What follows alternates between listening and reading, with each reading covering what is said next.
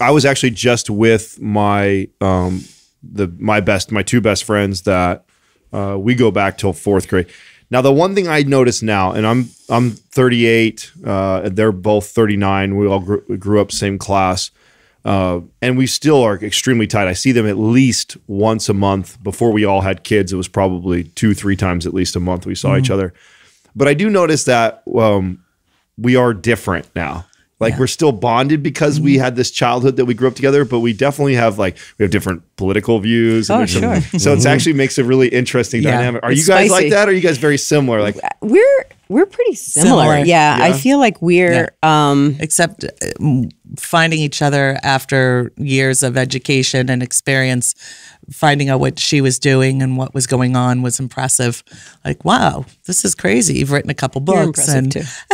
yeah and i I opened a business and a sizable practice and um, we're both doing our things that was like what was most remarkable coming back together but as far as who we are and what we do very similar Well, you guys, Yeah. you you were off air. We were talking a little bit about that. I'd love to revisit that conversation because it reminds me of the conversation we all had when we first met. Because we actually didn't even really know each other. Justin and I had worked together ten plus years ago. Sal and Doug knew each other, but the four of us had never all met before.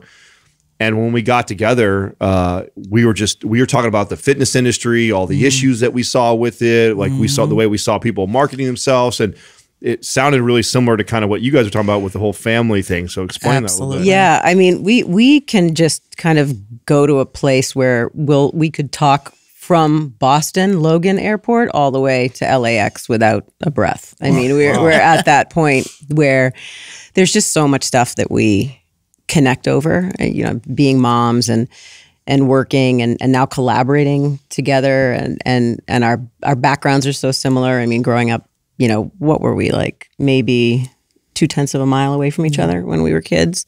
Um, you know, the school was in the middle and we were each on either side of it. So, um, you know, we we have this lifetime of of experiences together, and and it's interesting too because we have all of this this past history together and all of these friends. Like after we leave you guys we're flying down to LA and we're going to catch up with a bunch of our high school friends who are out there. And it, it's like we have all of these things in common. And then we have this chunk of time when we got married and when our kids were really little and we weren't together and living in the same place that we catch each other up on. So either we're talking about the current stuff we're doing or the stuff we did when we were kids or filling each other in. So we we never really stop. What exactly ins- inspired the book? So you guys get together, you start talking about you, what what you're Right. doing with the previous. She, I banged into her. Long story short, oh yeah, I'm writing. I'm starting to write some books, and I shared what I was doing, which was I'm a psychotherapist, and I've been doing this for 25 years, and had a sizable practice with my mother for the first 19 years, and. We got to talking. She's like, "What do you do?" And I I go into schools. I do lectures. I do public speaking. I write curriculum for teachers. I do all sorts of different things. And when we started talking about the thing we both had in common, which was kids and parenting, we both were aligned in the way that we were approaching our parenting, which was very humanistic. And so I was reading a little bit of what she was writing about, and I was sharing the work that I was doing. And it was just this very natural connection around, okay, this is a very humanistic approach. And that's what I kept mm. saying to Lisa was humanistic. So you've been doing this for Yeah. 19 years in um, schools or longer. Longer. She has been, yeah. I, I started in schools about 25 years ago.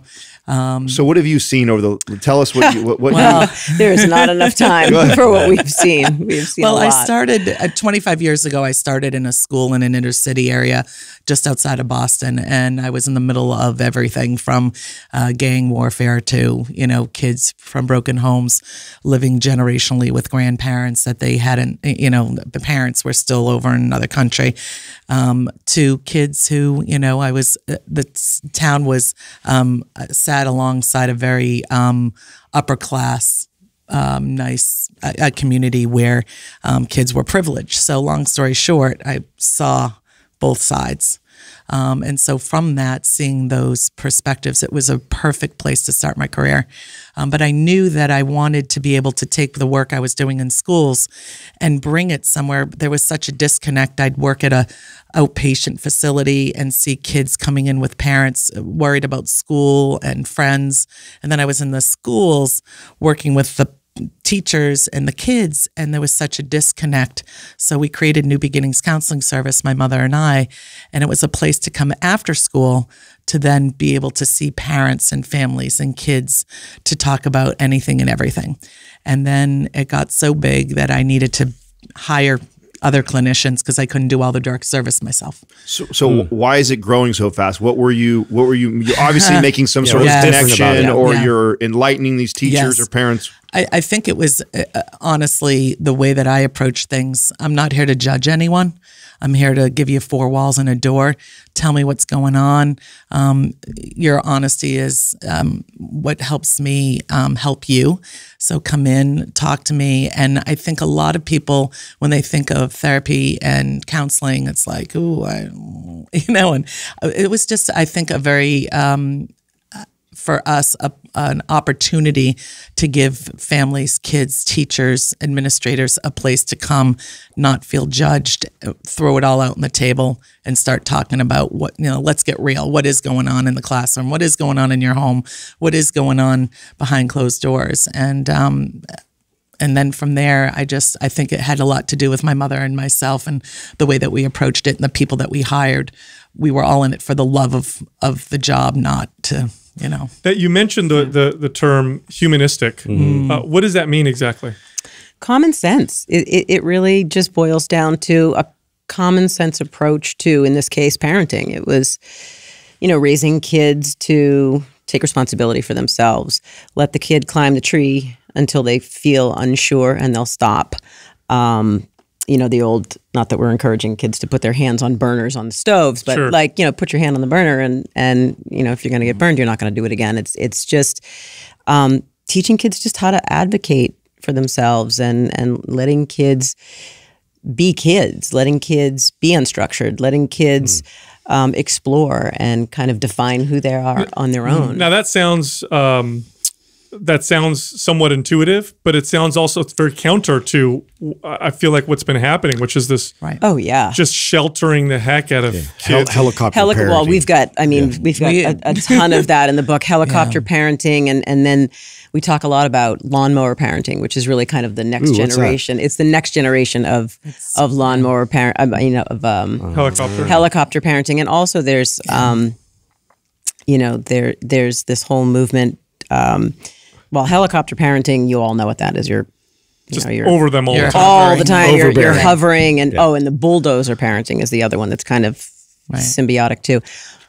Lawnmower parenting is you're just you're paving the way in such a way that there's absolutely no bump in the road for your kid. Uh, You No just, I mean, you just picture of the, you know that that you know that backyard, that long, straight, thin, you know, lawnmower line, and and there's nothing obstructing anybody, and that's what parents are doing. They're just bulldozing or Removing all the barriers. And then they come Everything. into my office and they're like, I, I want my kids to have wings and do something independent and go off to college or manage themselves. And they haven't had adversity, they haven't had mm. obstacles, they don't have the skill set to problem solve. And so I know we all come from, you know, a place that we love our children. We don't want them to struggle. We want them to have success.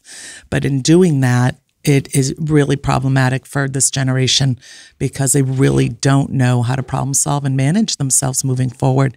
And so, uh, for us, we're doing a lot of talking around um, being a lawnmower parent and and how teachers are also impacted by this as well.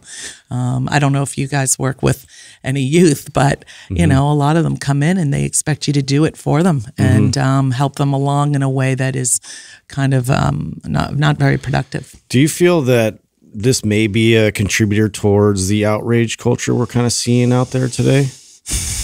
I, I do. When you say outrage, just Just in terms of like. I'm offended. I'm offended by everything and, and everything. Mm-hmm. Well, it's, I think it's this the same mentality that that parents have who are so pissed off when their kid doesn't get a, a trophy. Mm-hmm. Hmm. You know, I think I think the A. yeah, ex- exactly. You know, well, you know, my kid, my kid knew that. My kid mm. could, you know, could could do that at home with me while we were studying. What do you mean they they didn't pass the test? And Now, statistically, when you look at statistics on on children, there's a lot of measures that seem to be uh, improving or, or a lot better. Uh, kids are having less, uh, uh, you know, premarital sex or risky sex. There's drug use seems to be down.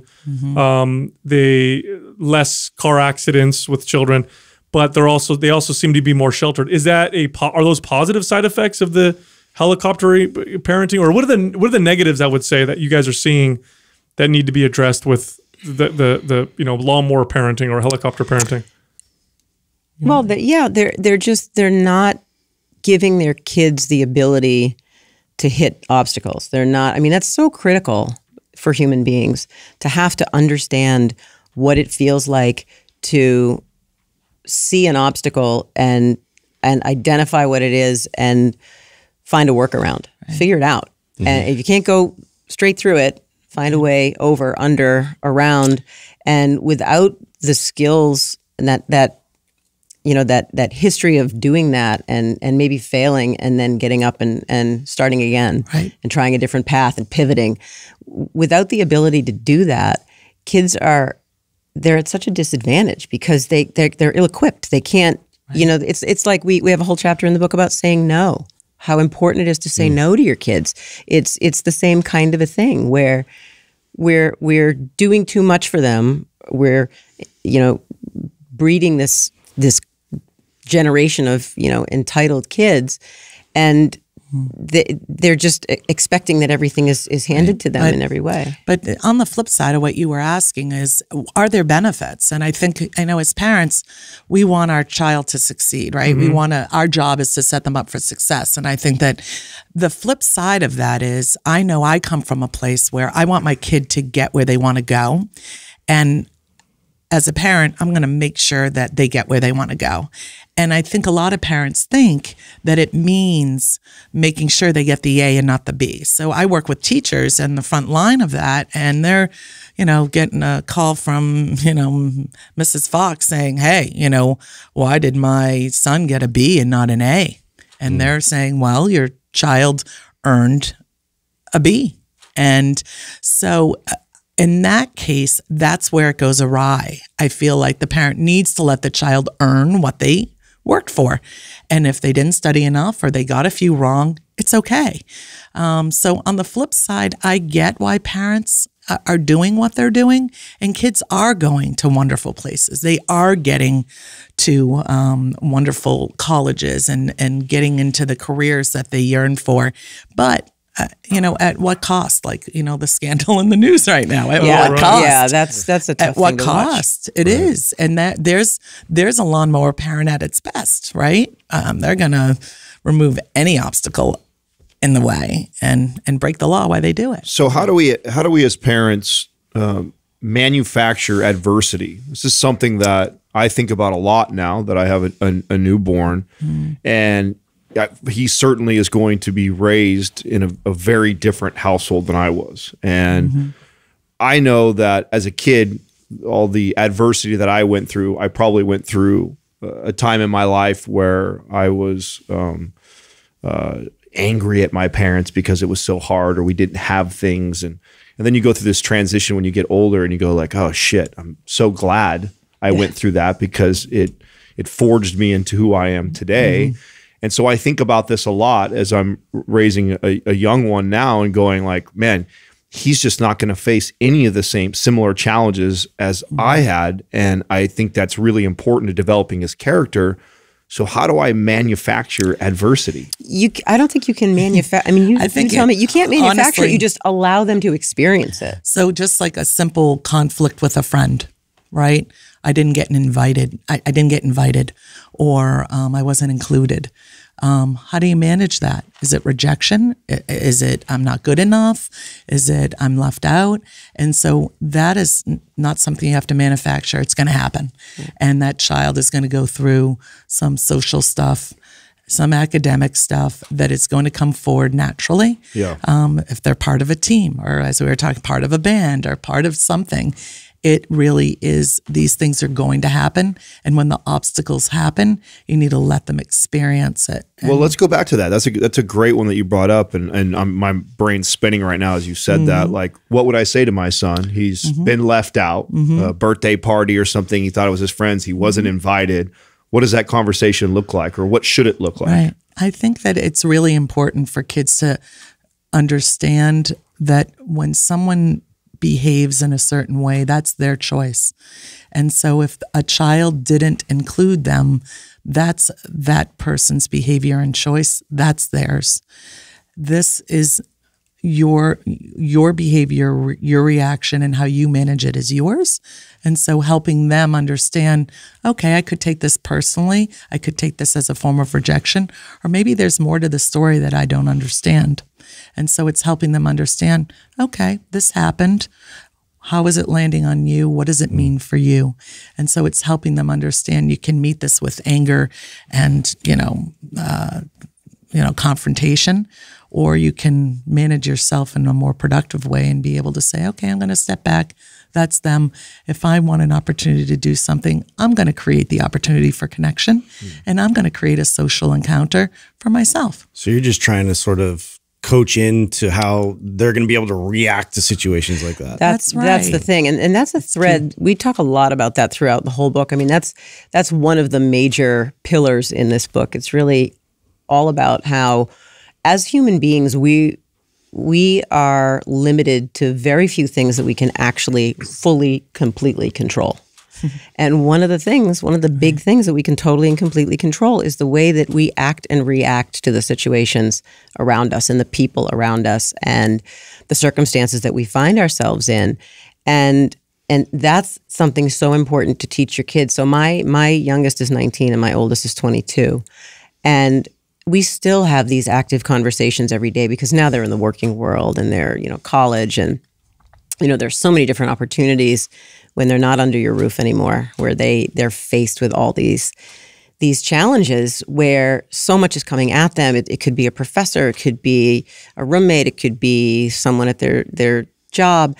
And they're you know they're in a situation where someone's handing them something, um, you know, wh- whether it's a dialogue or whatever it is, and you have to react to it, and you have a choice. You know, you can you can pivot one way, or you can pivot the other way, and, and it's our ability to manage our own attitude and response that is one of the most powerful things that we can give to our kids to empower them.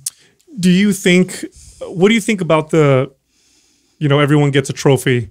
Hate thing it, with the, hate it, hate it. Makes now, me why, why is throw it so up bad? in my mouth. Yeah, I I- mean, we hey, we hate it too. But yeah, why? you know what? I, I think personally, as someone who you know, I played sports all through you know college and high school, and uh, for myself was never on a team to get the trophy. My my, do you remember at my my school? I, I went to a local private school for a couple of years in our town. We had a losing streak. Our basketball losing streak was like seventy-seven years long. Oh wow! Wow. It was that 77. that it was gross.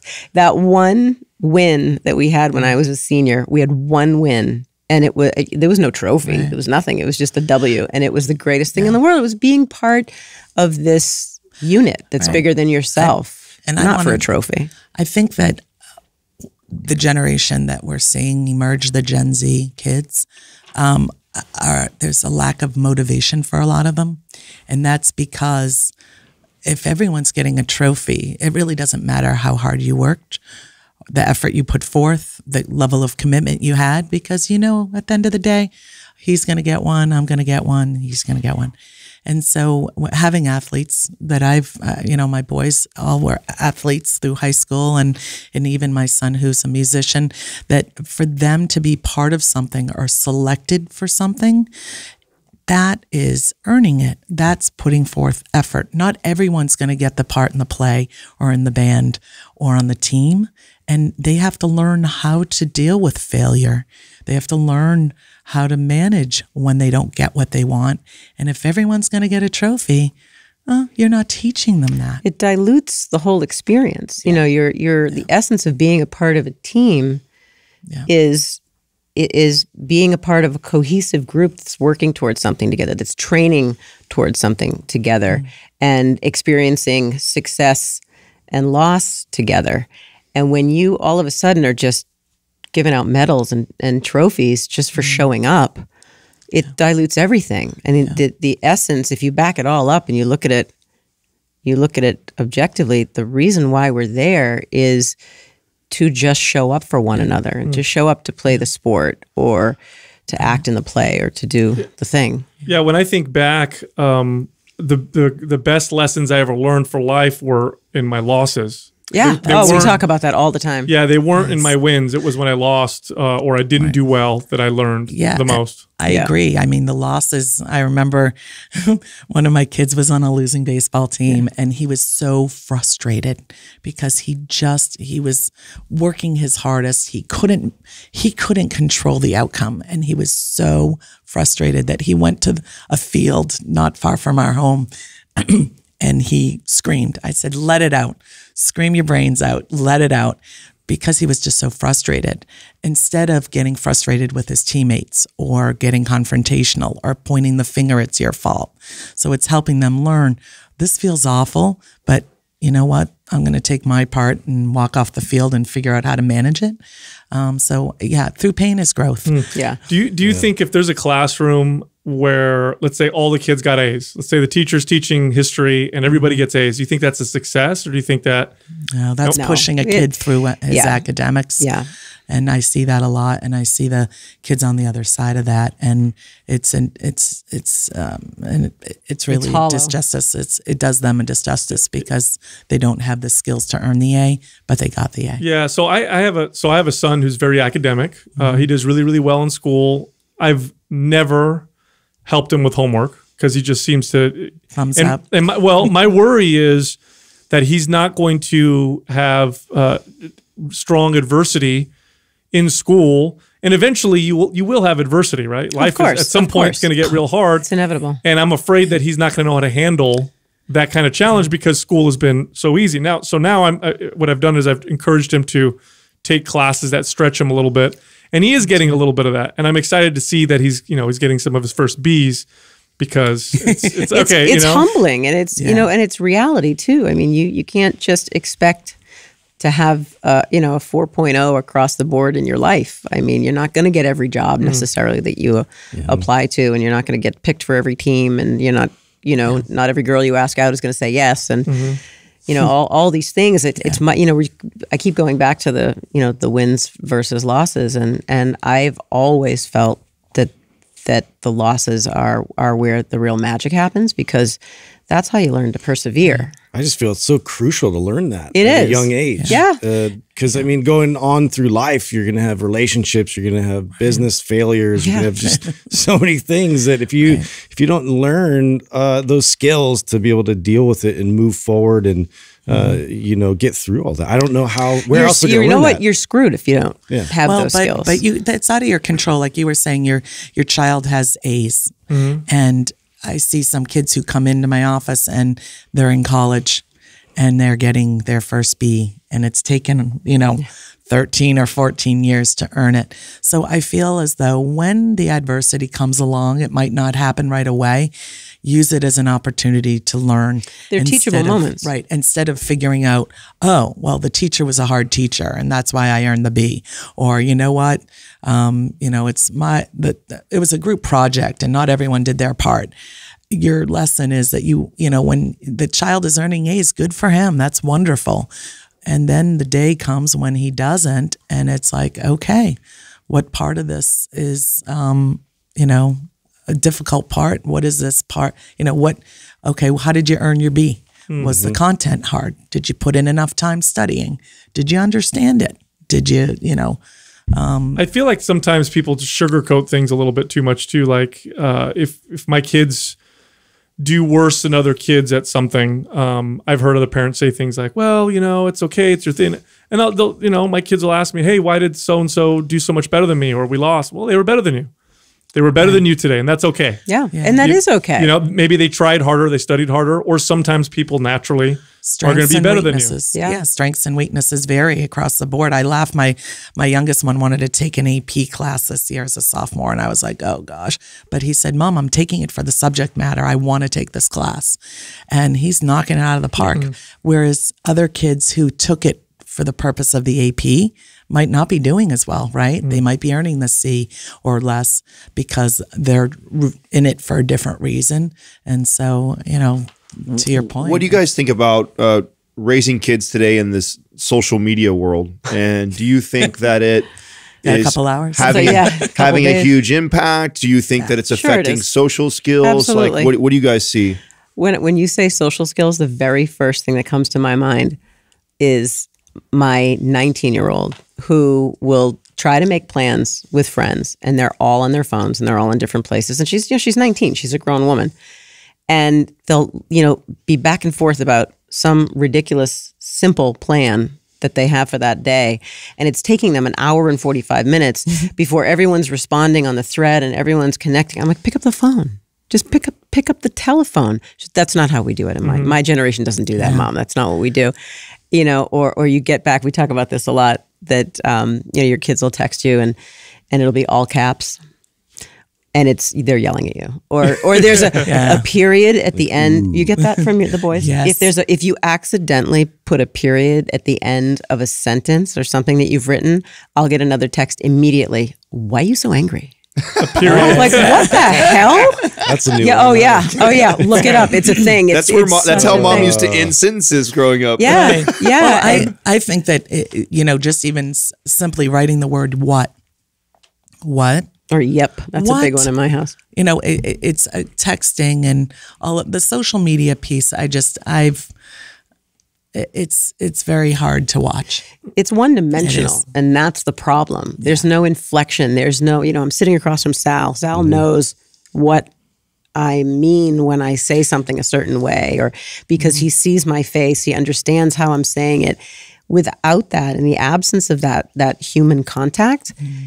you don't know and it's it's all subjective and it's all flat It's Can't only sarcastic. ca- yeah Yeah. No. Impossible. It's not only Yeah. that. I, I feel like one of the, probably the, or what, what I think is one of the scariest things is, and we talk about this because we're in the fitness space.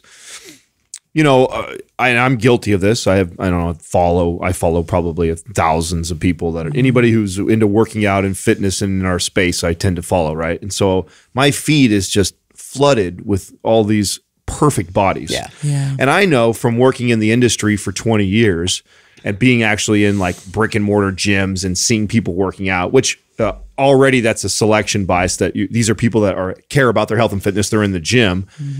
And if I were to look in the gym at all the bodies in there, everybody looks pretty fucking normal. Yeah. Maybe there's that one or two Yeah. people in there that look Well, amazing or look like yeah.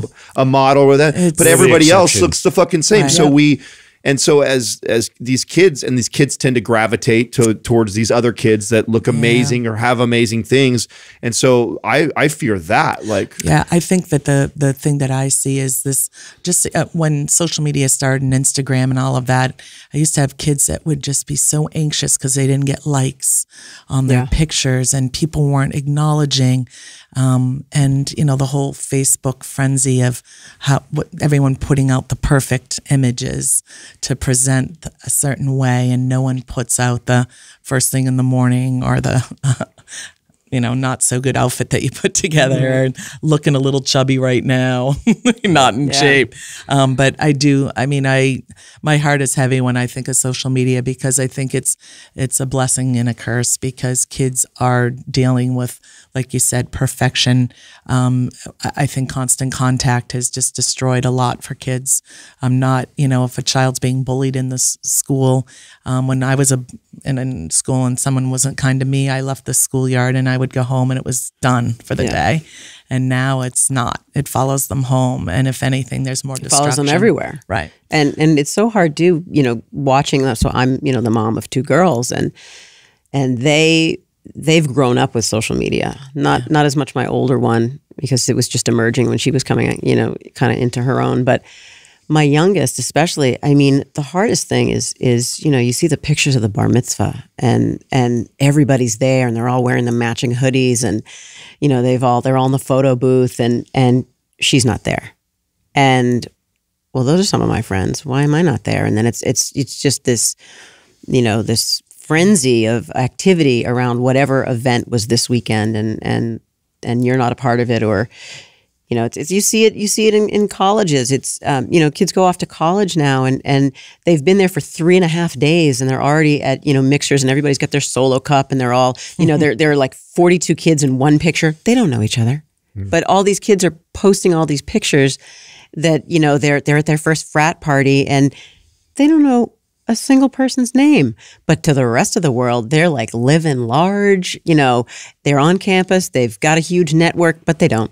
And and it's this false this advertising. yeah, exactly. it's this this perception. we see this in our space even i, you know, I we bet. we uh you know i remember as as the podcast started to grow um we began to get more and more connected to people that were insta famous or you know had these massive social followings and as we'd go around and we'd meet them i only uh, before i met them my only perception of them is what i had seen on social media and you know uh, some of these some of these guys and girls they they do they they take pictures with only other people that are famous or or big.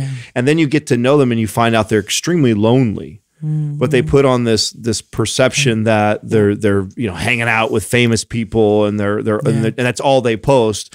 But then when you get to know them they don't have they one they don't even have a real connection with those people. Right. it was like a take It's, a quick it's all smoke and mirrors. right. and then and then you see that they're actually extremely lonely Yeah. uh, how, how do you guys speak to this to, to kids I- growing up like what do you what do you say to them I- I see it a lot, and I think that um, helping kids understand, you know, dialogue and having those conversations with your kids um, is so important. And some kids that I work with choose not to be on social media so that they can retain their own comfort and their own self worth and not feel like they are comparing. So they might not have Snapchat and they might not have Instagram or all of this to uh, preserve themselves because they can't tolerate or know how to navigate. And that brings up the dialogue that I have with a lot of parents, which is giving your kids too much technology when they're not ready for it and being able to say, you know what, kiddo, um, I'm gonna. we had flip phones back when we had kids, you know, getting phones, and I gave them flip phones on purpose so that they weren't on the internet or getting access to technology they weren't ready to handle. And I unfortunately think that nowadays, you know, iPhones and Androids and all these, they're you're handing them the world. They're first grade kids, and they've got Mm-hmm. iPhone 11s. So they've got. I mean, it's the phone is bigger than the kid's head, and it's And they're it's getting what they're on all the time. It- now the challenge I have is that the technology, social media, mm-hmm. cell phones. This is where kids meet and hang up or hang out, I should say, with each other. This is how they socialize. Right. So where so where's the balance? Because cutting your kid off of technology, it- it's not like they can go outside and hang out with their with friends. Nobody's outside. Right. Going over each other houses, they don't typically do that as much because they're all on online with each other. So how do you how do you balance that out? Because cutting them off is also cutting them off of their friends Right. sometimes. It's limitations. It's Right. just setting boundaries and teaching them young Right. that that they're you know, Moderation. exactly. Exactly. so that when there there's a time and a place for it and so i do think there are certain ages and we talk about it in the book i uh, some of my tips kind of help outline ages and technology a little bit and the quantity of it because i i do think that um you know i work in as young as preschool, kindergarten, going in and helping teachers assess, and kids just don't have the social skills that they need. Simple salutations and eye contact. Yeah. and we talk a um, lot about yeah. EQ versus IQ in the book. We have a whole chapter dedicated to it because kids are are losing, they're fast losing that ability to just to just do this, to just have a conversation with someone and look someone in the eye or or you know, show empathy. What is or- the difference between EQ and IQ? So your IQ is is your intelligence quotient. It's you know how you're going to perform on the IQ, the written IQ test, um, and EQ is your emotional quotient. It's your ability to be a good friend, to be a good listener, to have compassion. sympathize and have compassion and empathy and and you know and and really be there as a support for another human being who might need it. Um, i- their social skills, their the ability to sit down and, and have a conversation and not interrupt someone. And which you know, some of these things seem so basic and fundamental, Right. and yet kids can't do it. I mean, there are so many but kids. parents that, can't either. Right, So well, that- right. I'm going to say that dinner time in my house is no phones. Mm-hmm. we do the And same you thing. stack them. We stack them right in the middle of the di- you know the table. Yep. But parents have to do that too. Mm-hmm. And the bummer when I when kids come in, I have this one child that I've worked with for years. She wish she wishes that her parents would put the phones down during dinner, mm. and she's the kid. She just mm-hmm. wants to have a conversation. So I I do think when you say, okay, you don't want to cut your kid off, I mm-hmm. get that. But when I was a kid and the phone rang on the wall on the old fashioned phone, my dad didn't answer it. It was not during dinner time that Yeah. we answered phones. Sure. And so nowadays it's like, okay, even though the phone isn't on the wall and it's in your hand, I want you to take it and put it over here. Turn it off.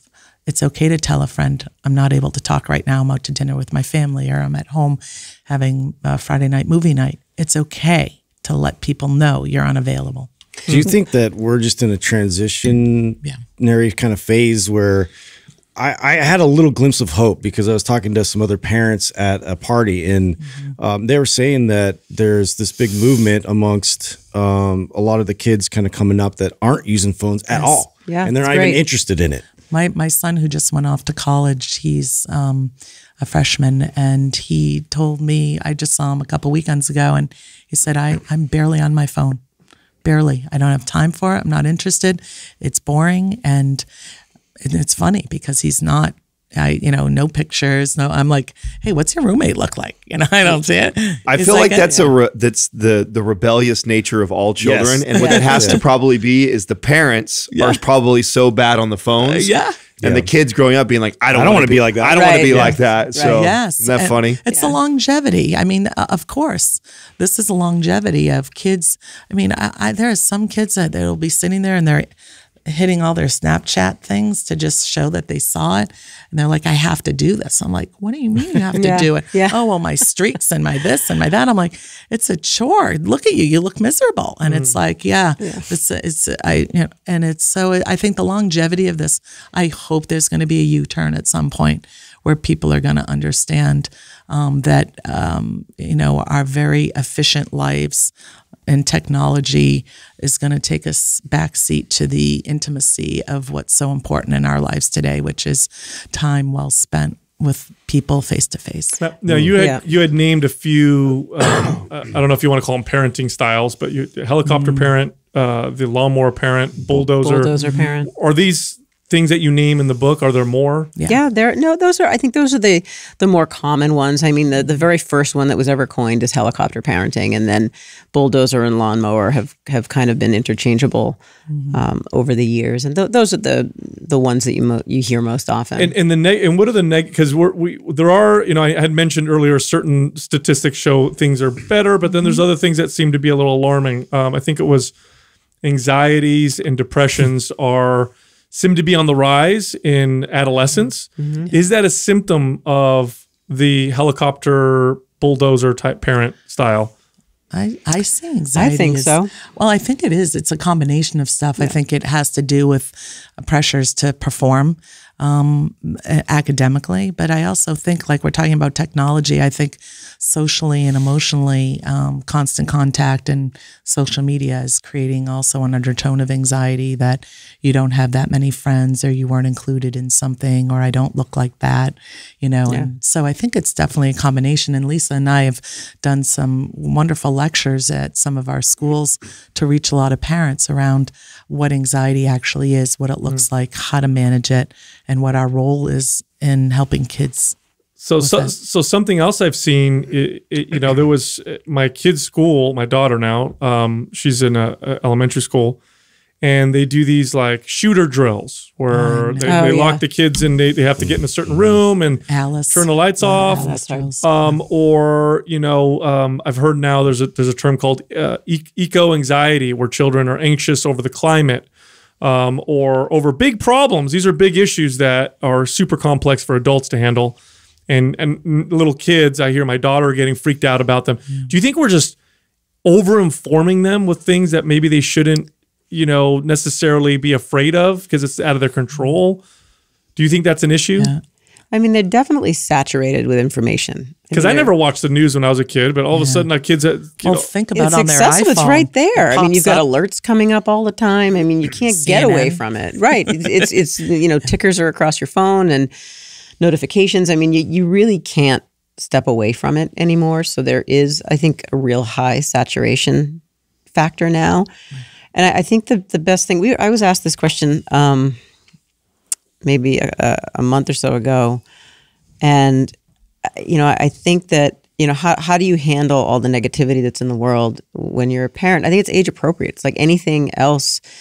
You know, you're not going to talk to your four year old about 9 11, but you're going to understand and help them understand that there are things in the world that are, are scary and, and concerning and, you know, that, that you need to, to be mindful of. And, um, and give them this, the the tools to to deal with those things as they can handle them, depending on their age. And I think since 9 11, really, I've been in practice for, uh, you know, way before 9 11. And I think that things like Columbine and 9 11, um, it's induced a certain kind of anxiety I had never seen before in kids and parents separation anxiety, um, a child being anxious to be left at school, or a parent anxious to leave their child at school.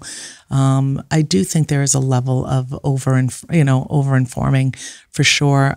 However, you know, it's funny we were having this conversation with my parents. My mom and dad had bomb shelter, you know, practice in their school when they were kids. They had to learn how to crawl under their desk uh, in case of that's a true. bomb. That's true. So like it would have helped. Right, Yeah, right. I mean, Exactly. but I do think, fortunate, you know, for my generation, um, we really never went through stuff like that. So we had a fire drill. That was about that it. was all we ever had. But we have looped back around to a period of time where I do think um, kids are being exposed to things um, like my parents' generation. Because the irony is, it's, uh, I mean, for all intents and purposes, it's far safer today than it was when we were growing up. Uh, uh, kidnappings are, low, are, are lower. Yeah. Violence is actually lower. We're not at the threat of thermonuclear war like we were for right. much of the Cold War.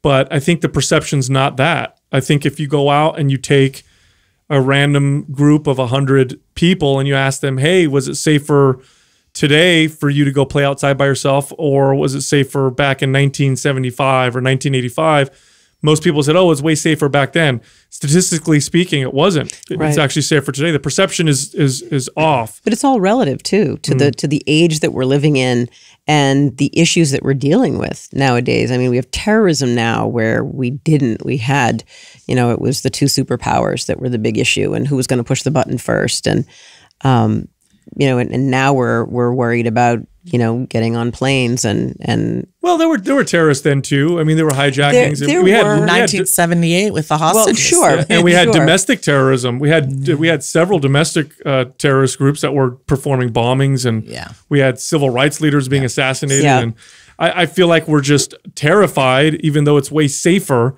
today. And I think that that could be causing issues. Well, I think if you turn on the news, what do we see? I, I can't watch the 10 o'clock news. My husband puts it on, and I that is when I allow myself to go on my phone because I cannot tolerate.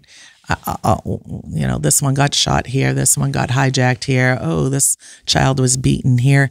I I think you know we don't necessarily hear about uh, enough of the good stuff. Although there is, there is. well, we tune into yeah. the bad stuff, Right, we do. Shock value. And, and, I, I, I don't. I work so hard not to because what does it do? It heightens your anxiety, it heightens your fears and your worries. And I have kids who have been definitely impacted by their environment. And so you got to keep, for me, I feel like, again, we're only in control of what we're in control of. So take the, you know, management in your own home and determine how much you want to inform your kids. Yeah, like like we were using the social media example before, Mm-hmm. where you, you know it's it's more rare to see people with six pack abs, and, and statistically, than it is to have to, for millionaires. people don't realize this; they think they think everybody's got a six pack. The reality is, almost nobody does. Right. But if you're on social media, you know our primitive brains. What I mean by primitive is they evolved where our minds made judgments based off of what we were around. And we placed ourselves in hierarchies and we saw how okay I, I, see, I know how tall i am compared to everybody else in the tribe or i see how wealthy everybody is or whatever. But then when you're on social media now it's like going to a, a like have you guys ever seen in real life a seven foot tall person I think I have once. My my cousin Probably is like six nine or Yeah. so six eight. it's but super not seven. super rare. But if you watch Yeah. the NBA all the time, you'd It's think huge. you think you were tiny if you were six foot three. Right. And so I think what happens is, you know, Yeah, kids are seeing news happening all over the world, um, and they're exposed to, and so their brain perceives it as this is my neighborhood. This is the norm. This is what's going on. Oh my gosh, this is really scary. When when you actually, they did a study. It's a famous study uh, years ago when uh, Jaws came out, and public perception of shark attacks skyrocketed. Everybody thought shark attacks, and newspapers were reporting shark attacks. Everybody thought, oh my gosh, everybody's getting attacked by sharks. Shark attacks are extremely consistent year Yeah. year over year. They don't go up, they don't go down. They're, but our perceptions made us feel terrified, and I feel like that that may be happening a little bit with with kids just because they're like overinformed with stuff that's really complex. Well, they're, I think they're overinformed with stuff for sure, but it's also social media has done this incredible thing. It, it's reduced the size of the world. It's- Totally. it's, we're we're all we're all right in the thick of all of it together. What's going on in Syria? What's going on in anywhere in Europe? I mean, it, it, it, all over the world, places that were just so far removed from our life and our our you know our lens are now on top of us 24 hours a day. So it's it's like we're kind of carrying the weight of everything that's happening around us. And our kids are doing that and they're internalizing that. And i think our generation um, you know for for instance deb's and my generation we, you know you're hyper in tune to it and then your kids are hyper in tune to it. And there's a total trickle down effect Totally. in parenting. And that's you know that's another thing we talk a ton about in the book is that we're modeling all this stuff. Like you guys are modeling this for your kids. We're modeling for our kids. And you know how they see us handle conflict and and adversity and and the good stuff and um, you know our relationship with our spouse. I mean and our friendships they're watching everything. They don't they mm-hmm. don't miss a thing. What it's like that mm-hmm. old you know that old saying whatever you think your kids are capable of they're actually capable of so much more. Mm. It's it, the same thing goes for what they're observing. They mm. take everything in. So um, What's the most, uh, I guess, uh, what would you consider be one of the more important chapters in the book? One where you think that is going to really make kind of the biggest impact on on people. For me, when I looked at the book um, towards the end, it's um, walk the walk and talk the talk. Yeah. Talk the walk. Yeah, blah, blah. You get the point. Talk the talk and walk the walk. Um, I think uh, to go off of what Lisa was just saying, which is, I do think that you need to be really careful about pointing a finger and saying, My child, when people call me and say, Oh, my eight year old is having a problem, and da da da da da, will you work with them? They're not behaving in the home and they're not listening to me. Um, I often sit with the parents first. What is going on in the home? What is the behavior management like there? Are there rules? Are there limits? Or is this child just showing you that they're having a hard time because there aren't any clear expectations or rules? And so it's really, in my opinion, really important. Is it ever the kid? is it ever right? uh, honestly, is it Honestly, like it I would, is. is it? it is. Absolutely. Sure it And so what it then 50-50. turns into is parents putting in place behavior management in ways that the child understands. There's expectations, it's concise, and there's a system in place. So for me, I do feel as though uh, for parents, if you don't want your child on your their phone 24 7, you can't be on your phone. lay it down. You've got to walk Yeah. that walk. And and the other thing, one of my favorite, well, one of my favorite lines in the book is we've got to hold the line. That's what we have That's our job as parents. It is so difficult to, you know, to hand out that consequence or um, to to maintain that presence when you, you just want to be soft and you, you want to give in and the the most I think one of the most important things that we can do in the way that we model our behavior is to follow through, be consistent.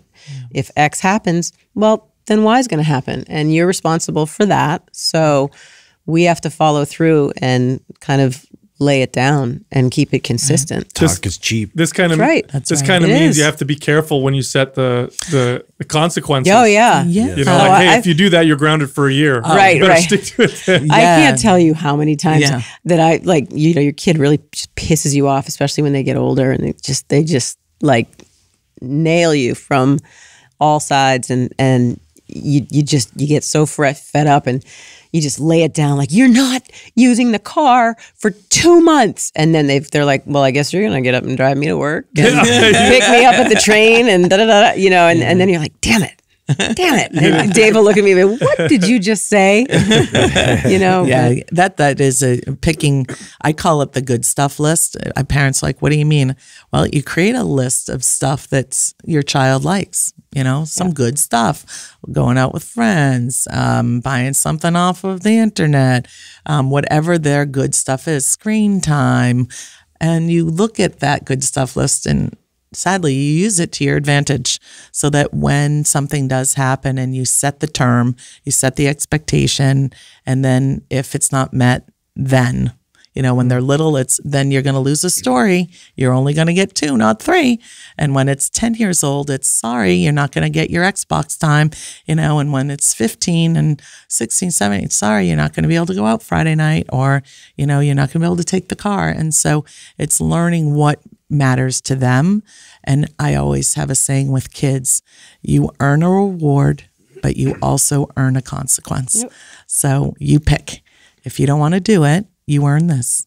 And if you want to do it, then you earn that. My parents were horrible at this. They uh, they thought they thought they were supposed to be consistent with the discipline on all of us on what they took away or how they punished.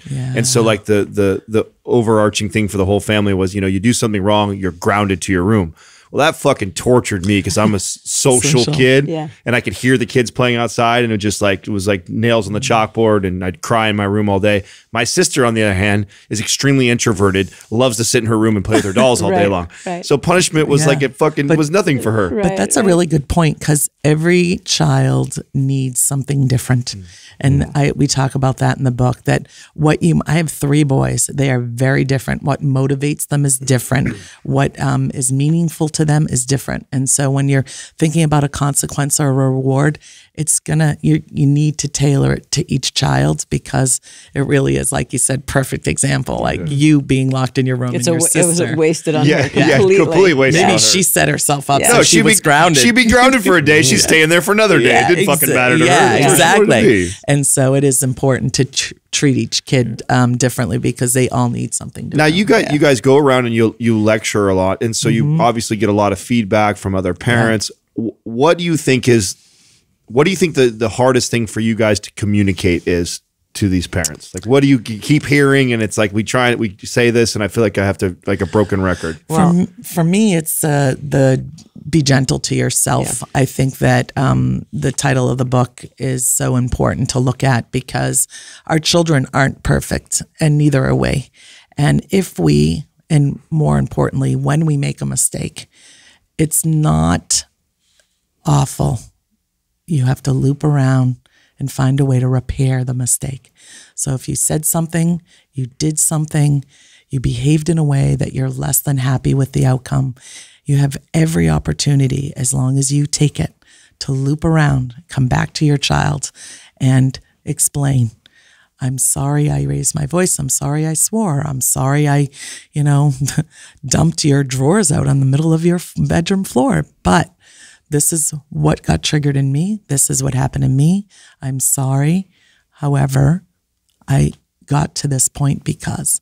And so it's repairing that. And so for me, I just can't impress upon parents enough that you are human. You will make mistakes. We drop balls. We drop We're supposed to drop balls. God, that, that's up. such that's such a good point. Uh, Self compassion is really important. Sal Sal shares a story on the podcast that he's he's talked about a couple times. One of the first times that he came unglued in front of his in, in front of both of his kids, and uh, it was because somebody threw a black basketball at the back window of his car as he's driving by, and his daughter was in there, and he pulled over and got out and fucking chased the kids, slammed the basketball hoop, and just gorilla dad came out protecting his daughter, right? Which I think every and Sal's not a small guy, Right, and everybody so that's probably intimidating. You know, thinking of that, going like, "Fuck yeah, I would do the same thing too." But then he gets back in the car, and you know, the other, the other, his son is kind of scared, and you know, why did you do that, Dad? And Dad explains that well, they endangered daughter or whatever, and son goes, "Well, don't you think you put us in more danger by pulling over and doing that?" And I think that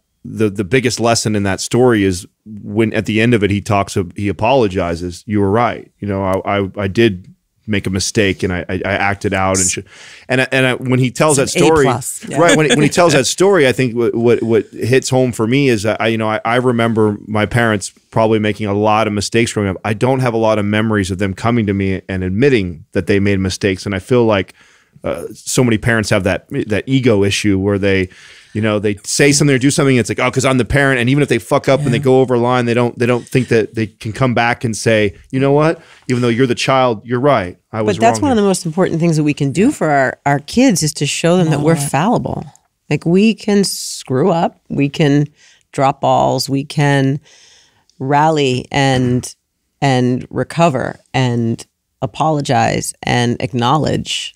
That's that's one of the things. Is own it. That's that's a big chapter in the book. That's one of my favorites. Is that we we need to own these behaviors ourselves, the good ones and the bad ones. But you also want to nurture in your kids to find their voice as well. So if you do or say something, I remember a big lesson I learned. My oldest son, I think he was probably about 17. Um, he had left the laundry down in the laundry room, and I asked him nicely once, "Can you just bring it up to your room?" After about the third time, I flipped and I was like, "Bring up your damn effing laundry." It's like a daily thing you in know. my house. And so he looked at me and he and, and he said, "Mom, when you yell at me, I really don't listen. It really is upsetting." And I looked at him and I took a deep breath and I walked away and I caught myself. And then I looped back around and I said, "You know what? Thanks for letting me know that, but I'm yelling because I've asked you three times. Is there any value in that for you to understand that? Yeah, no, I, I get it. But thanks for apologizing because it, it really, I don't like when you scream at me. now pick up your fucking laundry kid. But, but what it teaches kids is mutual respect, which as they grow older, at that, you know, when they're older teens, you need to have mutual respect. And if you don't have it, they're not going to listen. Oh, I think you got to let your kids hold you to the same standards. I, I, That's had, right. I had a time when you know I, I was taking my daughter somewhere and I did something and I said shit and I get in the car and she's like, you know, ooh, you know, I heard you say a bad word and I'm still kind of upset and I'm like, well, yeah, I'm an adult. I can say bad words. You're a kid. You know, you, you shouldn't be saying those. And she, you know, real, real quiet for a little while. And she goes, yeah, but you probably still shouldn't say bad words in front of little kids. and I said, you're right. check for her. Yeah, I said you're you're. 100, I said I apologize, and you're you're 100 percent right. Yeah. I think that's that's real important. My my my parents were both pretty good at that. My mom would do that. She'd sit me down and apologize for doing something, and I'd only increase the amount of respect. Right. Well, um, that's that the thing. I, that it does breed respect because you know you're need you're that. admitting that you're human. You're admitting that you can't get it right Mm-hmm. 110 percent of the time, and you're acknowledging your own behavior and how it may have impacted the people around you. It's But big. you know what's important too for kids to understand? I'm all about empowering them and helping them find their voice. But uh, when you ask them what they're thinking or how they're feeling, it's wonderful that they share it. But it might not, uh, you know, impact the outcome. You know, I still wanted him to take down the laundry. Sure. Right, you know, bring up his laundry. Um, so you know, I really appreciate that you don't like when I yell at you. But you know what? Let's stop. Let's go back to the the issue here, and that is go get your laundry. And so, kids, I want them to, you know, let them say, I didn't like that, or that upset me, or I got hurt by that. It's really important for them to feel heard. But Now, in your in your practice, Deborah, were there? Did you see common challenges that moms would have versus dads? Did you see? Because we're all fathers in here, Mm-hmm. and I, I, you know, there's a lot of. I mean, let's to be quite honest. Uh, if there's far more single moms and single dads out there, Mm-hmm. uh, and, and we're all very involved with our children's lives. We find a lot of advice Mm-hmm. given to parents, not a ton of advice to dads. Are there common like challenges you see with moms and dads, or is it all kind of the same? I, th- I think for the most part it's the same, but I, I think um, each situation is, you know, can be very different. Um, I work with a lot of dads and moms. Um, and I think one thing that I find dads challenge with the most probably is the, the, the communication, the communication styles, um, and how they kind of navigate their way to loop back around and apologize, um, or to stop and gain a perspective. Um, I just intuitively, I think women, and I glow, I'm being generalizing, but we're a lot more um, Empathetic. emotional we, and we empathetic. wear it on our sleeves Yeah. most of the time. And I, I'm going to tell you, there have been plenty of empathetic dads in my office as well um, that are just incredibly intuitive and, and capable. But I do find, in, in general terms, that for dads, I help them slow down and listen. Um, I think just because of how, um, and living in a house full of men is all I've ever done. I have brothers. She- I have she only three speaks boys. boy. I only I speak speak girl. boy. I mean, you know, I do, and I get it, and I think um, built differently. You know, testosterone brings as agitation and frustration, reactivity in a different way than maybe a mom, um, uh, a young lady, and so it's learning how to manage that your makeup a little bit differently. I wanted to talk a little bit more in that direction. And we had Dr. Warren Farrell on the show, and he talked a lot about the benefits and and of rough and tumble play Yes. and of.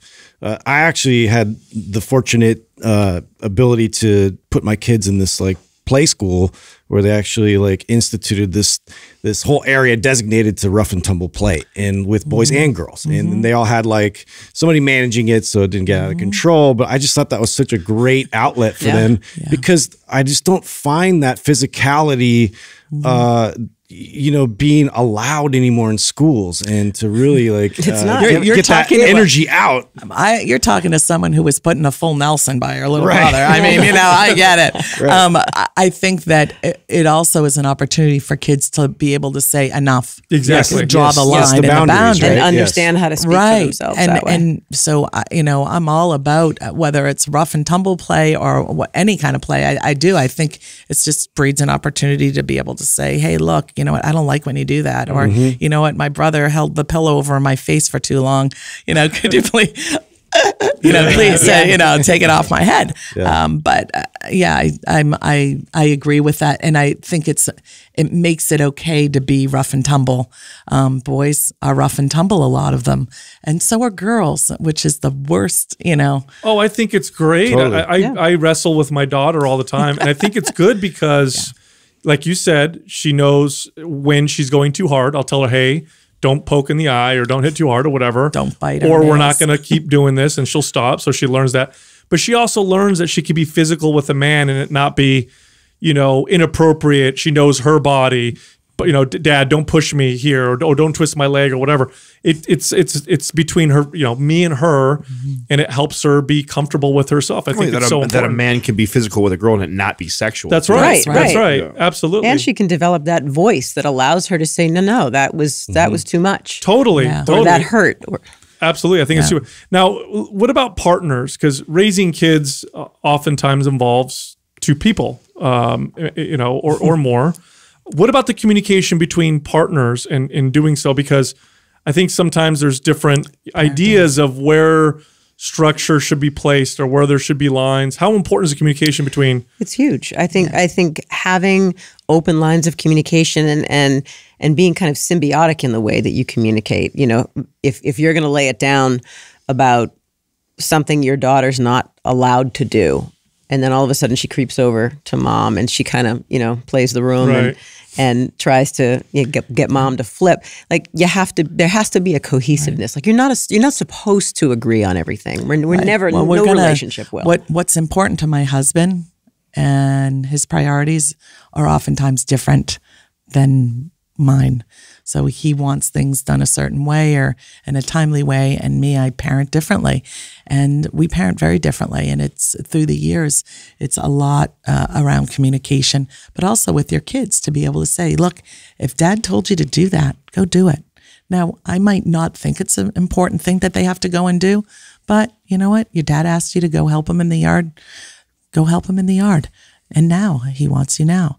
Um, so I, I do think um, I work with, uh, it's a, a large part of what I do is family work, communication, parenting. And I think one, uh, the biggest issue is that we all bring our legacy into the room, how we were parented, what we witnessed, what we experienced, and that then develops a lot of how we parent. And hmm. so I think it's important. I did not grow up in the same home as my husband, so he brings different styles and techniques to the table. And I think as long as they're they're safe and respectful, you know, you need to create space for each of you to parent the way that it's a you feel comfortable. collaboration. It's it's like any relationship is whether you know whether it's a work mm-hmm. collaboration or a friendship. You're you know you're always going to do things in in a slightly different way, and and sometimes in a in a more obvious way that's different from your partner. But it's understanding how to create and maintain respect for each other. And we we've always had something in our house, my between my husband and I, where if one of us was kind of neutral about a situation or a decision and and the other was like really really adamant and we could kind of you know back that up and we had a very strong opinion we, we the other one would kind of defer to that and and and vice versa. And you know you're not always going to be in complete sync but it's No. it's you won't. I mean you're i mean you're lucky if you're almost ever in complete sync but you you do your best to hear what the other person is saying and to understand what's important and to and to understand what the other person your partner's strengths and weaknesses are. You know there's certain things that you know that I know Dave is way better at doing than than I am. And I've learned so much from him because he's the one who will see the cues when my daughters one of them in particular needs me to leave the room or or needs him to leave the room. Like we've we've hashed something over and over and over again and and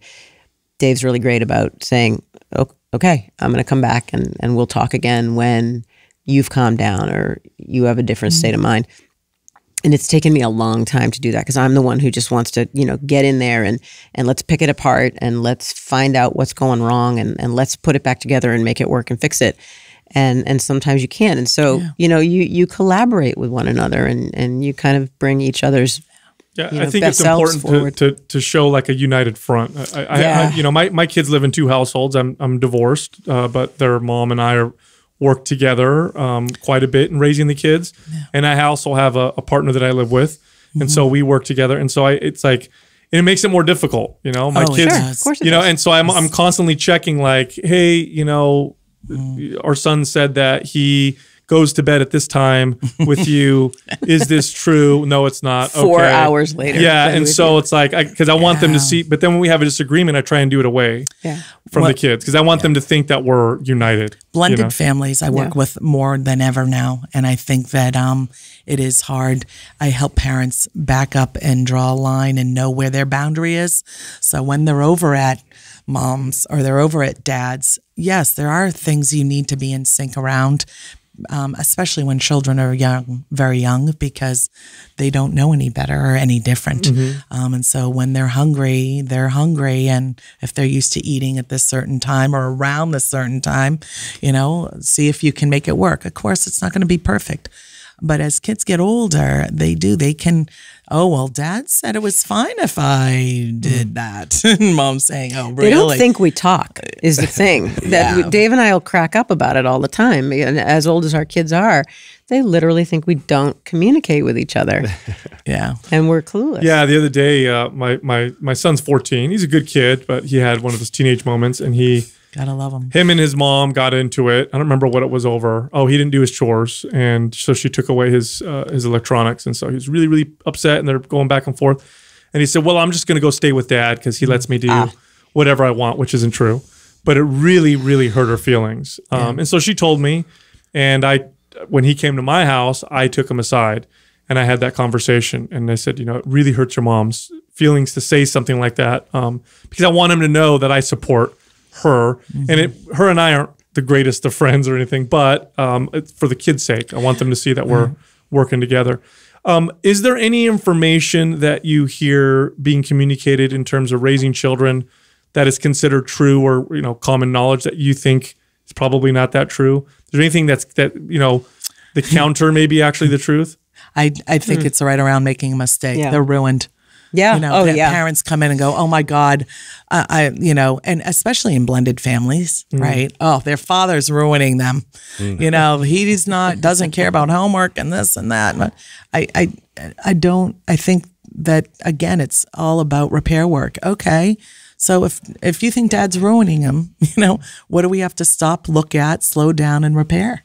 And what you know do we need to have a conversation do we need to have a family meeting what do we have to do so for me um, mine is um, you know oh they're ruined they're not we have a whole lifetime to repair and make them the best that they can be Yeah, yeah. Yeah. My, my my my partner, she she did such a good job of communicating this to me. One of my kids did something, and I wanted to go fix it or prevent them from making a mistake. And she said, "Let them screw up now because it's better they screw up now than when they're adults." And I That's thought, "Oh yeah, I guess that's because we're a there. Good point. we're there to help them navigate through that. And it, it doesn't by any means mean that we're there to come in and and find the solution or implement the solution or handle it for them. We're we're there to help them navigate. And and that's why this is that time when they're under our roof and they're you know they're they're more apt to take in our influences and our suggestions it, it, you know we need to be there to support that Right. She's she's smart in saying that.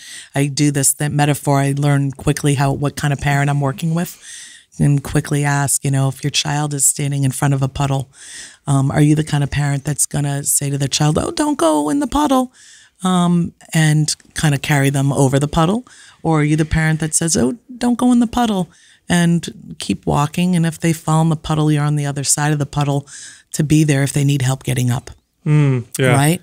So are you the one who's going to prevent them from going in the puddle, or are you going to be there to help them if they need it? Hmm. Yeah, admittedly, I'd be the one to pick them up and Uh, right. And the dilemma that so that's like um, a budding lawnmower parent, yeah right? so that you want them, you know, if they fall in the puddle, they're not going to die. Mm. They're going to get wet, mm-hmm. but it's I'd rather them see the impact of their choice mm-hmm. Than for you to prevent them from having the impact because they're going to go ahead and do it again until they have the impact of the behavior. No, I- so I've I've found that a lot of times when somebody writes a book about a topic or you've worked in the field for so many years, sometimes you are the ones that have uh, the greatest adversity or struggles in your own home. And I would love to hear from each of you. What are the challenges you have with each of your kids, and how have you overcame it? Wow. Um, well, let's we'll, we can start with the most recent one. Um, so so my my youngest, and I, I don't even know, if I'd classify it as a challenge. You know, I'm sure it is on the scale. But so my youngest is 19, and she I have two radically different kids. My oldest just graduated from Boston University, and it's you know super motivated and and did all the things and took advantage of everything and groups and clubs and all that, and um, has kind of everything paved in a in in a direction that she's she's really excited about. And my youngest was never a kid from probably grammar school on who thrived in school and enjoyed school. It was difficult for her. She was challenged. She, we we discovered that she had a learning disability when she, when she, late in the game, like seventh grade. Um, so she just was not an academic kid and and went through high school the same way. And you know, and and you know, you you want to give your child everything that you have the ability to give them in terms of opportunity and and skills and um, you know a base. And so naturally, the way that our society perceives kind of the growth of our children is you, you raise them, they go through school, they go off to school, and then they figure out what they're going to do from there. And and I guess for me, um, you know, we we always knew that she was hesitant to go off to college and didn't know if if it was her thing and wasn't vibing it at all and and wasn't engaged and and really wanting to do it. And she but she surprised us and she went through the whole process and she applied to schools, got into everything and went to a school one semester wasn't for her, came home, shocked us again and applied to another school closer to home and went there and again just was like I don't know what I want to do. I don't know where I want to be. I don't know if school is even for me. And and we struggled with that for a while. It was like, you know, you've, you're already in it, uh, you know, for a year. You, you can move around again, find another place that maybe suits you a little better. It's not cookie cutter. And and it took a while for us to get to that point where we were like, okay, you know what? She she said she put it to us in interesting terms. She's like, look, I've been in school for 13 years of my life. I have no clue what the hell I want to do with my life. I know that I don't thrive in this environment. I want to be in that space and time in my life that comes after school. I want to be in the job. I want to be working. I want to be producing. I want whatever it is. And so, you know, that was a really big challenge for us, for me in particular, was to say, okay, you know what? You're you're 19 years old. You gave it a try, and now I'm going to practice what I preach, which is that it's not okay a one size fits all world for any of us. Forget about like the whole parenting game. I mean, in general, in life, there is not one size Definitely. that fits all. And so for me, that was a big struggle, and and for Dave, just letting her drive that bus, which is we talk a lot about that too. That that that's one of the biggest gifts that we can give our kids is to let them just to to move over and let them kind of take the wheel and and navigate. And this was one of those times and it was a challenge and and she found herself an incredible job and she's a full-time nanny for this great family and doing a ton of different things. And now she's came to us and she's thinking maybe I might go back and take some classes. Mm-hmm. And so she kind of came around. We we let it be and and she kind of came around to it but it was a challenge to begin with and mm. we just kind of stayed unified and trusted her and here we are so. Yeah. Good deal. yeah. I think that if somebody said they didn't have a problem, they'd be lying. yeah Of course. Of Yeah. course. Right. That's why I had So- to ask. Yeah. That's right. So I, I mean, I think that everyone has something, and I think for me, um, kind of a uh, overarching theme for me as a parent is when my see my child making a decision or a judgment that is less than perfect, and being able to stay on the sidelines and be an observer and let them see that poor decision through and watch it impact them in a bad way. What does that look like? I mean, is- like, hard. give me, give me, give me an It- it's example. it's give me an example of like the out. last, like, Yeah. oh fuck, yeah. he's gonna. This is gonna hurt, Yes. but I'm gonna. Yeah, I mean, I, I think part part of it is um, like I, I think of academics, for example, like with my youngest. Um, I have two of three kids. One has ADHD and one has ADD, and um, both very brilliant kids, um, but didn't have the executive functioning that was matching their intellect. Um, and so we, um, bec- one one of them, their behaviors were getting in the way of their learning, and so we ended up getting him tested and learned he was this very bright kid who was very bored and distracting and distracted, and um, had some organizational issues, and so at a very young age. Um, had to begin managing that with him. And now I think the harder part is letting him manage it on his own. So, for example, stepping back his first semester of college, he um, decided maybe I don't need my medication that I've been using. And we, hey, he's, you know, 18, going off to college. It's a decision that you have to make. And um, he went through a really tough time of academic output and it wasn't going so well. And I just simply asked, Hey, have you taken your medication? No. And I was like, Huh, what do you think? Huh.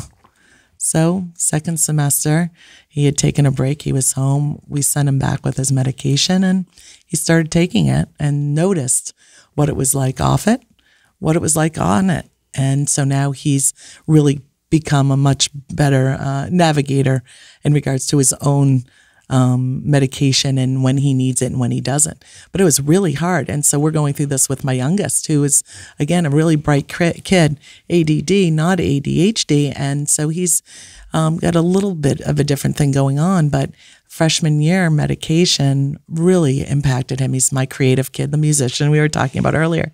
And he didn't like who how he felt and who he was. And he's this year we started and he goes, I'm I'm not gonna take it. I said, All right, I have to stop. I know what a medication does for him, but I'm not a pill, pill pusher. And so, you know what? I'm going to have to step back and all all the things I knew, organizational details, not writing assignments down, not turning them in, all of these things just were flooding in the front of my brain. And I thought, you know what? He's a sophomore in high school. I got to let him navigate this. And so I step back and he I think is working harder than he ever has because he wants to succeed off it. And so yes, has he um, maybe dropped a ball or two, yes, but he's learning how not to do that. Um, although, again, we're perfectly imperfect, so he's going to drop them and being okay with it. Um, so, how does it look and how does it feel for a parent? It is hard. It sucks. You have to breathe through it. Sucks. You have to remind yourself that um, eventually he- he's going to need his own wings. And if I'm the one kind of uh, navigating the way, he's never going to grow them. Uh, on the topic of ADD and ADHD, Yeah. and Tough one. and a parent. So I, um, Repeat that. I wasn't paying attention. I'm just kidding. That was good. Yeah. I see what you did there. That was a but I'm bump. dad joke. And uh, you know, being a parent that has two kids that uh, are challenged with this, do you come from the camp that uh, this is on an incredible rise right now, or has this been something that's been around for many years and we're just now starting to diagnose kids? Yes. And also, do you think that there's something environmentally that is impacting uh, them to for this to be seem almost exaggerated now? It's so crazy the amount of kids that are like being diagnosed. everyone's being diagnosed with it. Yeah. I- I think we've just found a name for a be for a system. So there are different parts to ADD, ADHD, and a very big part of it is what we call executive functioning. Um, and what we're learning in our teaching through in schools is that there are ways to test and understand when a child isn't organized or missing assignments or not rushing through their work and not getting things right, there's names for that now.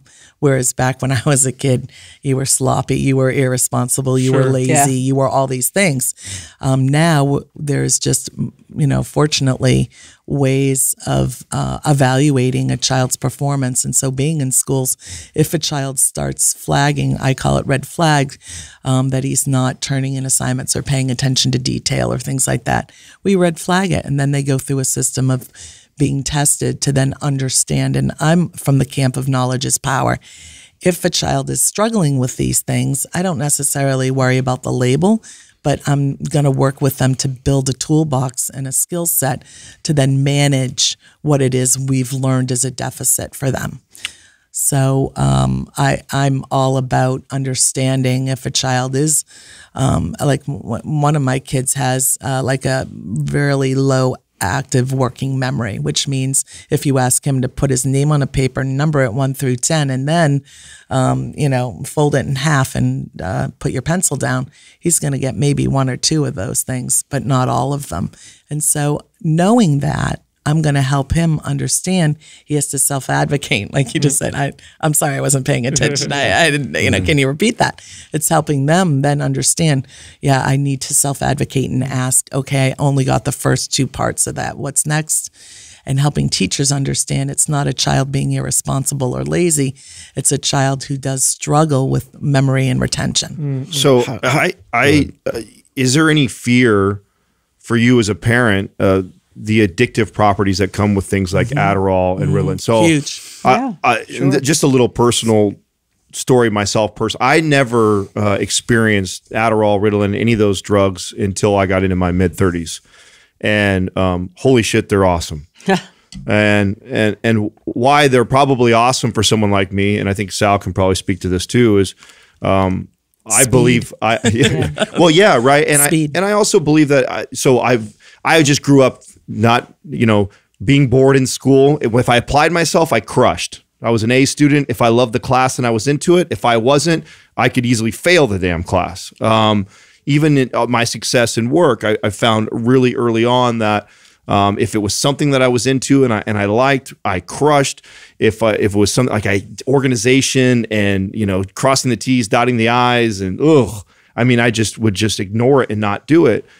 And so I spent most of my life tr- trying to figure out ways to create better habits, behaviors, to develop these skill sets. Also, focusing on the things that I'm already good at so I become great at it, not worrying about the things that maybe I'm not very strong in. And so I've had to teach myself how to do that. And because of that, I think that I, I've had a lot of success in my life of overcoming some of those challenges. Um, but I, I have, and again, I've dabbled with using these things, and I'm like, holy shit. If I take, if I have to, like, for example, we have to write a lot of content in this business, and we, if we got to sit down and I got to write a ton of content, boy, if I take one of those, I mean, I can, it's, I'm on fire. But that, I'm also a very self aware person and go, whoa, uh, this is so awesome that I could see myself taking more and more Yep. and more. Is there any fear of that?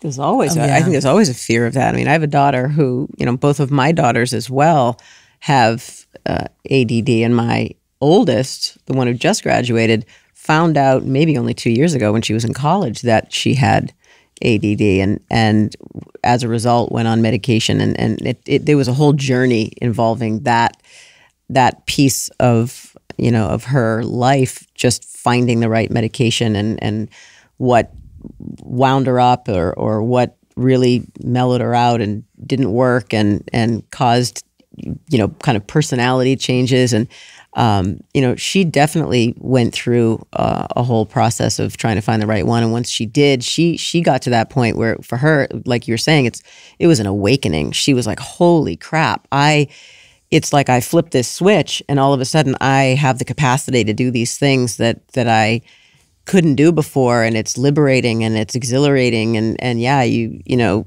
you definitely as a parent looking at a child medicate like that you definitely worry that that oh mm. my god So my know, question can they was- function without it Yeah. Right. My question to myself was: Is it was this something that I couldn't do before, or I'm just challenged? yeah I, I think that I, I'm a believer that oftentimes medication can drive a diagnosis, which means that for someone who is an ADD and it's, t- is taking that medication, it has a different feel and a different impact than for the person who's taking it for the purpose. Hmm.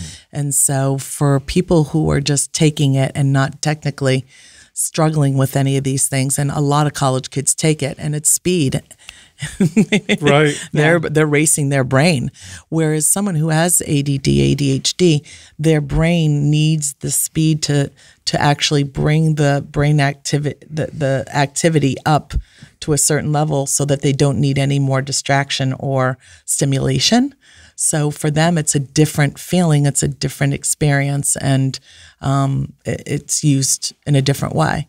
Now, for yourself, you know, it's it's a very uh, Adderall is probably one of my least favorite medications. I have one son who will take it um, periodically when there's As um, needed. as needed, which is my youngest one, and I think that um, it you have to be very aware of the side effects and it's good dialogue to have. I sat them down. I'm like if you're going to use this this if you ever feel these things i want to talk about it. Um, plus um, i have a pulse on that right? We have a pulse Oh, on our yeah. kids.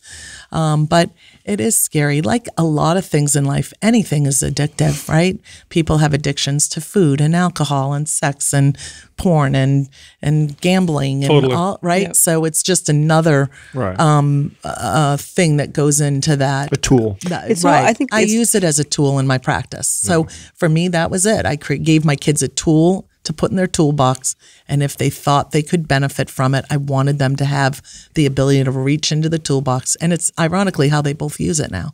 when you start to kind of recognize that your kid might have trouble learning within that environment so that that structured environment of sitting down and trying to sit still and try to memorize things and and produce a good grade uh how many times have you gone through with parents of like exploring other options? Like the there's other ways uh, to get education in terms of i forget the name of like some of these different options of different schooling principles like even if it's I know we- responsive classroom and things like that. Right or you're out you're more hands-on it's more Right. visual based like That's uh, right. montessori. Montessori Right, thank you. Montessori school. And, you know, I think it is so important. If your child is at risk, if their problems get in the way of their development, you need to think about where you're placing them.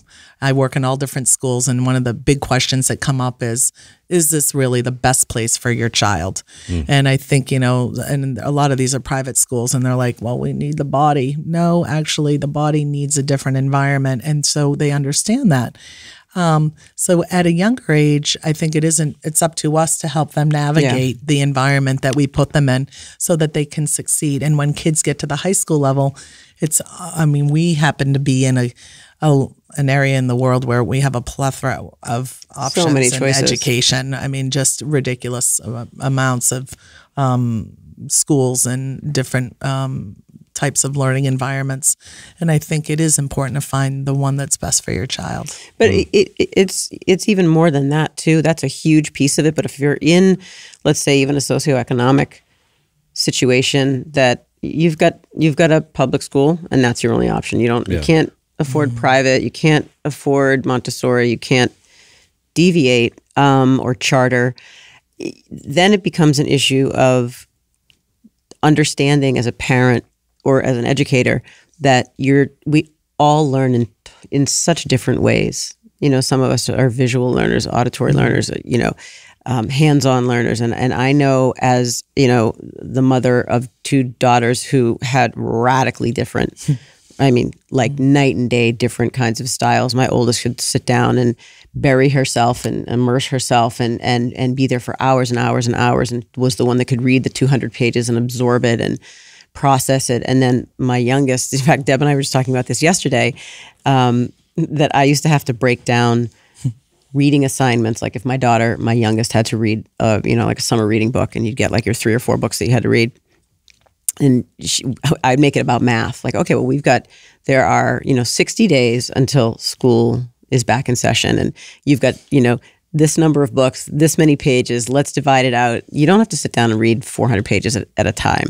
We can let's let's read 10 pages at a time.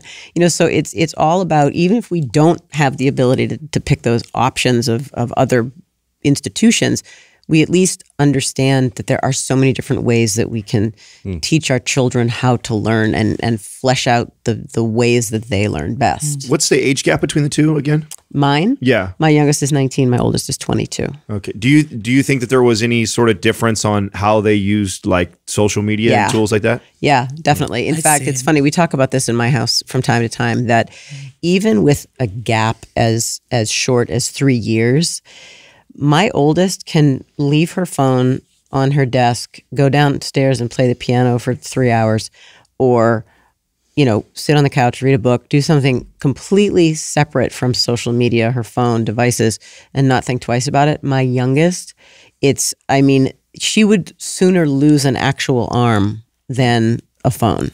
It would, that would be the thing that she would sacrifice the body part as opposed to the, Yeah. the phone. And, and it's just in a matter of those few years where even in the way that, that my oldest and my youngest engage with people, we talked about, you know, a while ago when we first sat down, we were talking about how, um, you know, my youngest, her generation, they're the ones that'll text all afternoon until their plans are made instead of picking up the telephone. My oldest will pick up the telephone and has no hesitation to just call a friend. So, yeah, even though it's a three year difference and that's not huge, it it was um, it translated to a pretty big gap in the way that they utilize. Sometimes I. I sometimes I wonder if that's what feeds into this distractibility for these kids, especially if you're somebody who's I- diagnosed we see with it in schools a lot that kids um, get bored very easily Right. during lectures because they're not as stimulating as as uh, you know looking at a phone. It's very um, uh, stimulating and constant and scrolling through and seeing tons of images and information being thrown at you. And i think that it does uh, it does impact the teacher. They cannot compete with the technology. They're up there they're giving their lecture and you know you're learning about world war ii you know it's it's not as exciting. And so they are up against oftentimes a lot of discussions around how do we compete with and how do we um, engage kids in a way that we can get to them and reach them because they really, you know, they really aren't interested in the same way as they used to be because they, you know, be playing Mario Kart and catching all the Mario. coins. The oth- the I, other- I, my boys turned me on to it. I, I play Mario Kart. Yes, I do. the, the other thing that I think It is. kind of jives with that that whole technology piece is the is the sense nowadays that or it's not even a sense it's just the reality nowadays that that this generation or my youngest's generation has to have everything in real time immediately has to has to mm. have the answer has to have the contact Instant has to- yeah and Amazon Prime. Amazon Yeah, Prime everything. yeah Right. that's right and I'm- and that's been the drive-through generation. Yeah. Like I'm, mm-hmm. if I want it, I'm just going to drive up to that building and ask for it, and I'm going to get it on the other side of the building. I It's saw like I that. saw a McDonald's hmm. commercial last night. It actually made me laugh. That I mean, if McDonald's wasn't fast enough already, right, and you didn't have a drive, now they have the app. app, yeah, Oh, yeah. you like can- Dunkin' You Donuts. can you can order order pay and it's ready as soon as you get there. Like it's like wow, Yeah. we, we it's we can't sit. we don't wait. know how to wait anymore Yeah, no, and I think we that's all we, we all grew up in the the when you get online, right? Took 15 minutes just to get connected to online. your, that was your just, modem Oh, dial up was Yeah. yeah, was death. Yeah, yeah, yeah. What's what's your what is your hope with this book? What do you what do you hope it help it does for people? you know, we want to start a movement. I mean, it, too many parents, and I, I say this all the time, too many parents now are just wrapped so tightly around the axle of life and, and of, you know, their kids achieving and them achieving, and they're paying more attention to what's going on outside their house and their family unit. And and they're they're so worried that if if anything isn't done at the highest possible level that their kid is screwed and their future is screwed and they're a mm-hmm. failure as a parent. So you know we we see this you know you see a lot of parenting books out there and, and not to shit on any of them because you know they're all valuable but they you know there there's one x factor that most books out there don't focus on and that's the fact that it's okay to screw up. It's mm. okay as Life is messy. that's right. As a kid as a parent and and mm-hmm. we really i mean that's that's been my ultimate goal. Deb's ultimate goal is is to remind parents that and kids that you know it's it's okay to you know be in a different lane. It's okay to get there at a different time. It's okay. We don't all ride a bike learn how to ride a bike on the same day and um, you know we we would love to create a movement around this notion that um, it's it's all right to drop balls it's okay to be imperfect you know it's it's it's it's okay to you know have a moment and then recover from that moment and, and move on so that's Yeah. that's and that and that uh, imperfection doesn't mean it does not equal lack of success. You know, parents are so worried about that, and I try and help them understand. Even messing up is adding to their um, success. That uh, they're going to learn something from it, which is going to make them a better person. Right. also trying to define success. You know, Yeah, what does success that for me, honestly, when people ask me that question, I, I first, uh, without your health, you have nothing, right? Um, uh, their happiness. And I hope that they get to do something that they love to do each and every day, like I do. and there you go. Yeah. Yeah. Thank you. Thanks for coming on. oh it's our Yeah. pleasure Yeah, this is great. thanks for having us Thank Yes, you. Great time, guys. Thank you.